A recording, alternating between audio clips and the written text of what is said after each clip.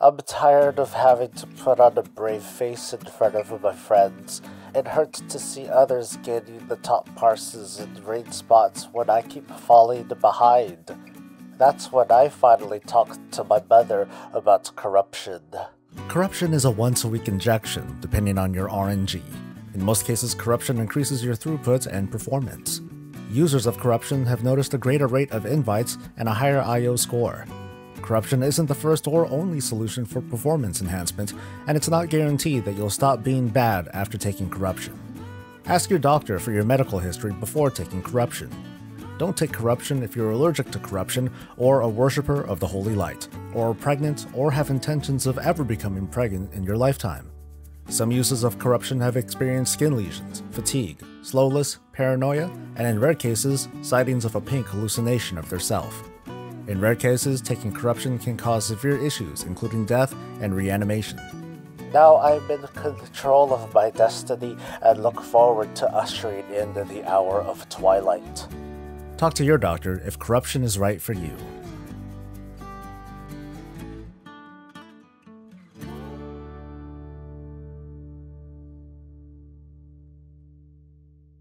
What's up, everyone, and welcome back to another episode of Warcraft Weekly, the show that. Oh my god, still no alpha! Ah! This week is even lighter on the news as we await the first public alpha build. It's it's really a slow week. Like, how slow? Well, Icy Veins featured a fan-made loading screen for Shadowlands that is a fan-made loading screen for Shadowlands. Ooh. Observers reported seeing hints of the new levels for raids after the level squish in Shadowlands, and spoiler alert, if you're at max level, you're still gonna smoke these raids there really isn't much. So today I'm going to do a kind of recap, maybe a rant of what I thought about Horrific Visions, the feature that I've been shoving down your throats in video after video after video, a video essay in the weekly, it's madness. But first, let's give a hearty hello to the amazing patrons and supporters who keep this channel going and endorse player housing in WoW, whether they actually want to or not. We also have a newcomer, so a big thank you and welcome to Kalizeth, and a big thumbs up to Lenlock and, um, uh... Achtung. Thank you for taking it to the next level. So, some super quick WoW classic news, Arathi Basin will finally open up next week on March 11th. I told you it was quick. In an official post, Blizzard announced the upcoming Shadows Rising book, clearly another ripoff of Shadowbringers if certain comments are to be believed. When Blizzard Watch first broke the news, they included a preview along with an excerpt that's more or less in line with the book's description. In this official reveal, we get another small preview, which once again is in line with the book's official description, so these aren't what I would call spoilers. There's a link in the description if you would like to read either of the samples. So far, we've seen a perspective from the Horde, and most recently from the Alliance. Uh, based on this pattern, though, if there are to be more previews, I would speculate that at least one more is going to come from the third faction, which is Sylvanas and her allies. They're going to help give some context as to why Sylvanas has ordered the Loa Bwonsamdi to be killed. But I have a good feeling that considering that, you know, this is Sylvanas, we ain't gonna find out about her plans. What will be interesting is that we're likely to learn a little bit more about your absolute favoriteest character ever, Nathanos Blightcaller, before he meets a violent and maybe satisfying death undeath, what, whatever. With so many months before the July 14th release, we'll see if nearly half of the book becomes available in a free preview from Amazon like, you know, before the storm was. Yeah, that was that was real great. Woo! Moving on, just the other day Blizzard gave us an update on how the legendary cloak upgrade beyond level 15 is going to work in patch 8.3. In a post, they outlined what to do in order to keep upgrading your cloak with these malefic cores. All you have to do is either defeat N'Zoth in normal or higher difficulty, or to complete a 5 chest run of a horrific vision, and you will receive one upgrade per week, which raises your corruption defense by 3. Also keep in mind that there's a skip for Ny'alotha, which will enable groups to skip almost to the last boss. When news of this first broke months ago, the critics were quick to cry foul that if they were to miss a week or if they're on alt or on new characters, there would be no way to catch up. Or, long story short, infinite grind, alt unfriendly, account wide cloak upgrades, please. Sick of BFA, and um, uh, did I leave anything out? Buddha do do do do do do. Thanks, although there is a way to catch up. If you are behind, or like if you roll an alt, and if you do want to be caught up, you can do both a N'Zoth kill and a full vision run to earn two upgrades a week until you're caught up and then you're back down to one. In short, there is going to be a path for you. It's not really a catch up, nor is it an account wide thing, it's merely a path, so you don't feel like it's impossible to catch up, you'll just feel hopelessly behind. Alright, let me get comfy. We're going to move on to the main topic. It's been two months since the launch of patch 8.3 and its newest feature that will be tossed aside in just a couple of months, Horrific Visions. I'm going to make this audacious notion, and I'm going to share my thoughts on this game mode from a position of authority, I guess. I've shared perspectives and commentary and guides on the topic, I've gotten a lot of crap over choosing the group talent, even if you're running solo. Sorry about that. No wonder I suck at life. Arr. But after doing the mask runs and getting the title, I would like to share just why is it that I dedicated almost all of my energy into what is basically single player content in an MMO. At times I'm going to be referring back to the good old Mage Tower back in the Legion days. I completed my uh, I completed the challenge for my main on that before the Tomb of Sargeras opened, so you could say that I beat it when that was considered difficult too. Yeah, I know this is like a weird flex. Let's start off with what I unquestionably did not like about Horrific Visions. Farming for keys is a big pain in the ass. From the get-go, Blizzard has been acknowledging this by tweaking with the numbers, pretty much every other week, increasing the amount of currency that we get per activity to the point where we're at today, which is like roughly double the keys that we're used to getting. Which meant that at one point, getting 50 visions per quest instead of the 300 something or other that we get now was somehow okay. The Mage Tower was a different beast. Now, it had an uptime and a downtime, but during its uptime your first ride was free, and later entries were pretty cheap.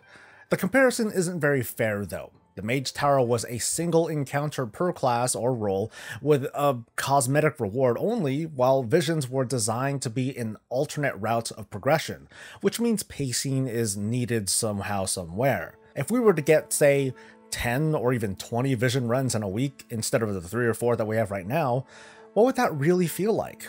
Titanic research would need to move much slower to compensate, otherwise we would max out our research in a week and we'd trivialize the whole thing. And that would shift the whole grindy feel away from world content and towards visions themselves. Farming dungeons or a single instance is one thing, but farming just Orgrimmar or Stormwind a dozen times a week for the sake of Titanic research? I'm just speaking for myself here, um, but that would that would just feel less fun. It would turn the challenge into a chore, more so if you already think it is. I think Blizzard did pretty decently at delivering on this specific point, that in the majority of vision runs that you complete, you perform better than your previous one. The takeaway for me still is that first free ride. Now, if they added something like that to Visions and slightly slowed down the rate of research to make up for it, people would feel much more enticed to hop in to get their attempt in for the week, and then they would decide if they want to do the assault or the dailies for more tries um, across that lockout. That's a typical tactic, right? Like, Hey, come on, dude. Try it out. The first one's free. yeah, it's that sort of thing. It's it's just less creepy. I am a little bit bummed that apart from a feat of strength and a title, there isn't anything else to obtain from the hardest version of Visions aside from gear. There's no unique weapon skin or armor set, is what I'm mostly referring to. Given where we are in the expansion though, as opposed to the Mage Tower which opened up in patch 7.2, I'm at least relieved for other players who would otherwise feel compelled to complete a 5 mask run on all of their alts for XYZ reward within a much shorter time frame than in Legion and without an extra tier of content to help. On a smaller note, adding a game mode like this in the final act of an expansion, it's a little bit jarring and despite the bajillion guides on Wowhead and YouTube, it's taken a while for players to really get into the motions and this added routine. So it's bad optics when we see the many different carnival rides just in BFA, from Azerite to Warfronts to Islands to Essences to Corruption to Visions, all of which is standalone and temporary. I hope that this will be handled a lot better in Shadowlands because we're going to see how Torghast is going to grow and mature over the years, and I'd like to see fewer spontaneous features prop up throughout an expansion. So what did I like? The actual vision, just running the stuff. The challenge itself is solo, if you want it to be. It's funny how people gripe about solo content in an MMO because it's a safe argument that most of your time in an MMO is spent soloing anyway, from leveling to questing. If you, person at home and on the toilet, if you run group content and expect to not have to talk to or listen to anyone, is that so much different from playing alone and expecting your AI party to perform to its script? Visions were my own personal story, the progression of me of a player who has the courage to be a content creator and a guild master and a raid leader, but is absolutely horrified just at the thought of being judged by an IO score, or temporary partnerships with pugs and dungeons where failure isn't just my own, I'm gonna let down four other strangers. Mythic Plus is the answer for players who want higher end content without the hassles of dealing with very large groups. And I want to be super clear that I'm not attacking Mythic Plus. I respect it, and I don't want Blizzard to change it to bring in someone like me. I think I'm just not the target audience. Instead, we're getting solo content like Visions and soon Torghast. It's gonna be the answer for players who want higher end content without the hassles of dealing with anybody. Visions and its assault in the Vale and Uldum are an entirely separate form of player progression. Personal progression, if you will. It's my challenge. There is no meta, it's just me. Can I succeed without feeling forced to run Mythic Plus? That's the path that my main went down, and in the end, I got it. Can I succeed without feeling forced to run heroic raids or any group content at all? Well, that's the journey that I'm attempting with my priest and my death knight alts. I'm playing alts. I haven't seriously played alts since like Wrath of the Lich King, and so far it's been a really fun and humbling journey.